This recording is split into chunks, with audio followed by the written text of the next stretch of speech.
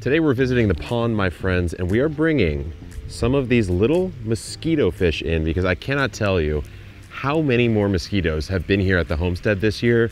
Jacques, Paul, some of the other guys on the team, we've all been getting absolutely clapped in the ankles by mosquitoes. So instead of going to a local nursery, which usually has these little mosquito fish for free, but they'll only give you like four or five, we have decided to order from the supplier of those nurseries about 50 of these tiny little mosquito fish. And they're called that, of course, because mosquitoes lay their eggs in usually water. Although the reason why the mosquitoes are so bad this year is because they're actually able to lay in very shallow water or damp soil.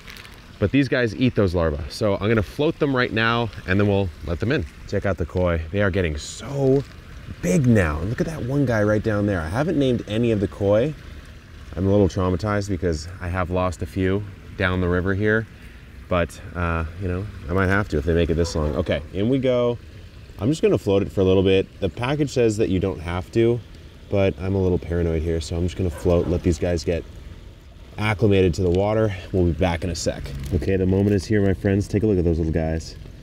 Let's cut them open and do a very dramatic pour into the epic pond. In you go, my friends. It's time to eat. Look at that. They're streaming out of here. Woo! We did lose a few of the mosquito fish on the trip, unfortunately, but the rest of them have kind of made their way. I see a couple over there. They're going to be impossible to see, but they're basically getting into all the nooks and crannies. So we'll have to see if the mosquito pressure dies down. While the mosquito fish are settling in, I don't think I have to harvest the sweet potatoes right now, but I kind of want to, mostly because they're really getting hit by some sort of pest. I haven't dealt with one that has hit sweet potatoes quite like this before. So comment down below if you actually know what this is. But for now, I'm gonna just harvest and just see what I get. I've always struggled with sweet potatoes in San Diego because I never end up starting them soon enough in the year. And then they end up just not having enough time to grow. But I wanna say I got some here, guys. Look at this, I got a little cutie right here. Not bad. But let's go digging, let's see what we have.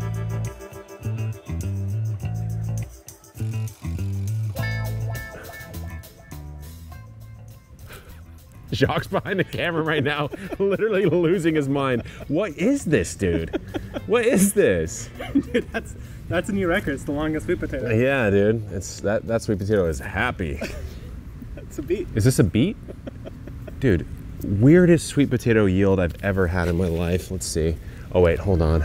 Gotta go get something special. Let me know what you guys think. I've been wanting these for a long time. I use the kneelers all the time. Look at this spider.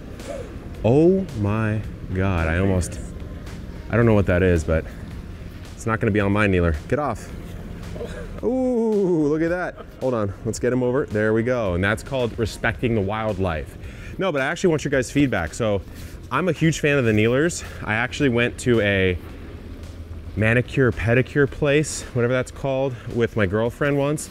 And they were gonna do a pedicure because I was like, you know what, treat yourself. Let's see what this whole experience is about in the world of feminine care. And the guy goes, Do you want me to start with your knees? And I was like, okay, I guess like I guess I hear you. so. I, I, I hear that I, I wear the, I use these kneelers all the time, but I actually want your guys' feedback. This is a more flexible one. I prefer it personally. It's kind of nice. It's very soft on the knees. And then you've got this sort of kickboard, a little bit harder style, both with the Epic branding on here, but I mean, they're both honestly quite nice, but I'd love to know your feedback. Just let me know which one you like. I'm gonna go with the softy. All right, let's get these out. Oh, shoot. Oh, a little bit of this, a little bit of this. Hold on, a little bit of this.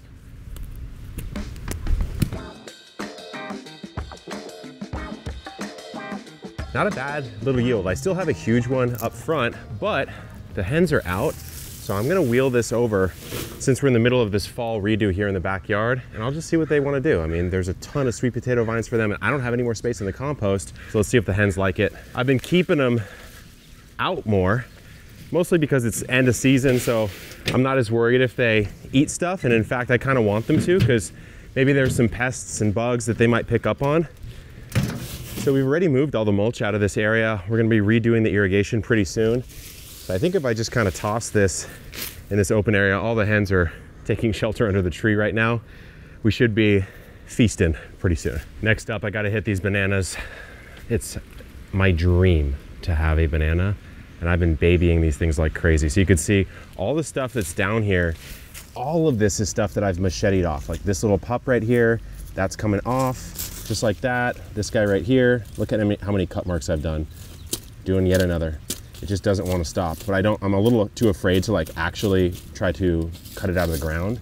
But the thing that I really have to do is I cut down to four leaves. So we have one, two, three, four, five. This is the lowest one right here. So I'm gonna come through. I give it a upwards cut in a perfect world because if you do a downwards cut, you can actually peel the whole stem off. But you can also, if you're very pro like me, come through and just do a straight chop like that. Boom. And then all I do is I just lay this down just like that, helps to mulch the ground.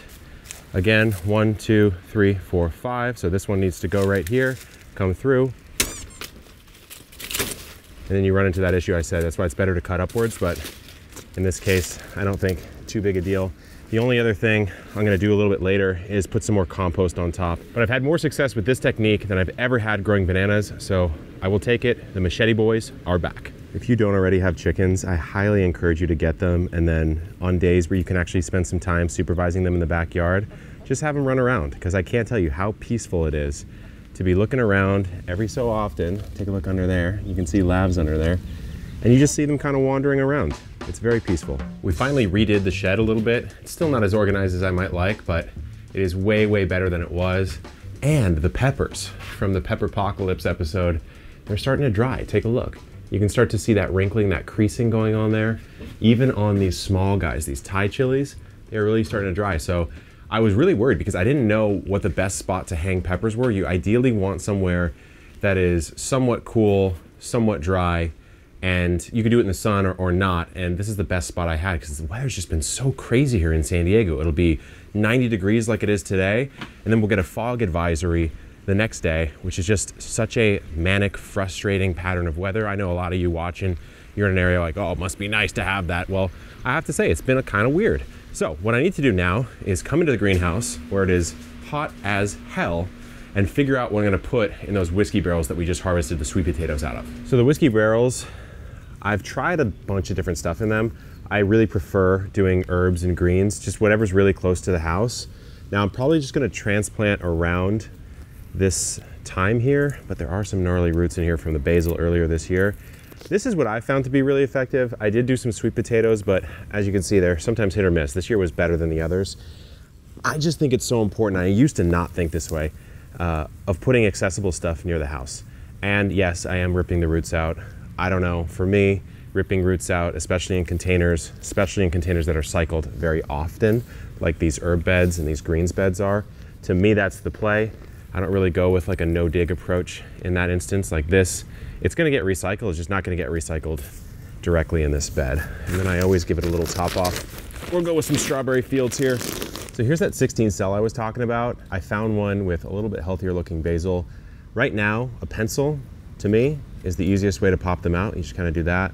And you've got these beautiful little plugs.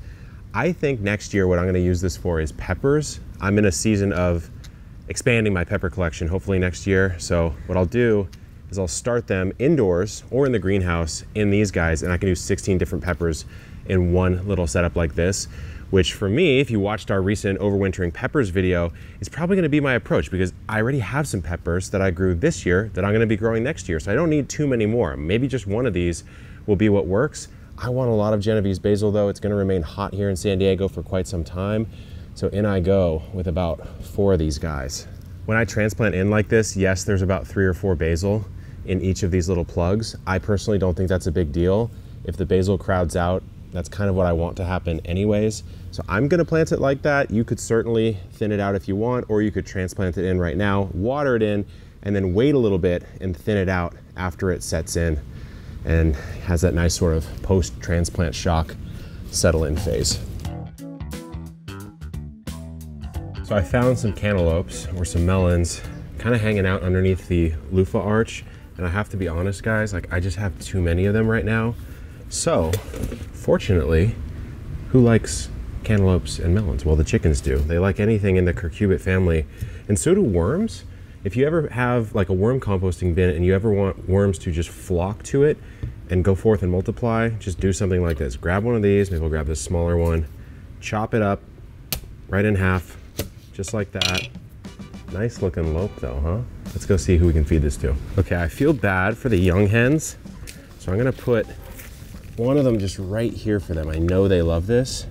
There's Wednesday, there's Loaf, there's Cortado, and then our weird friend Manchego over there just, again, can't figure out how fence works. I'm gonna leave this one here for them so they have their own, they don't get bullied off it.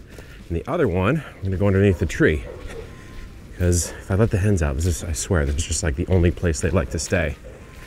All right, girls, where are you at? You're over there? There's some lope for you. There we go. We're getting a little action. Let's go, Chetty. You need to replenish newts from that molting you're doing. Lav, butter.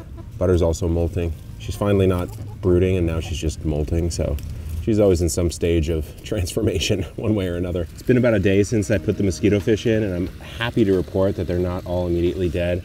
There's one right there. There's about three or four underneath this little lily pad frond right here. And I believe there's an entire new school over here now. The only reason I did it, I don't even know how many potential mosquito larvae are in here. But if you look at this area of the pond, if I was a mosquito, right about here is where I'd be laying because the water doesn't quite clear from here. And so I figured these little guys would multiply if I had enough males and females and they'd come in and kind of clean up all the potential larvae that are floating around in here. But the pond looks really nice after the refresh that Jacques and I gave it. And in general, I feel like we're getting to fall. I don't know when, but I feel like we're finally getting there. I'm at least prepping for it. I'm gonna redo this whole backyard like I mentioned. Let me know what kind of style you wanna see. If you remember the early days here, I had the eight raised beds and then the two long beds. This year I went big patch and the long beds. I kind of want to mix it up in a big way this year. So if there's a cool design or feature that you'd really like to see in the backyard homestead, comment it down below. Until next time, my friends, good luck in the garden and keep on growing.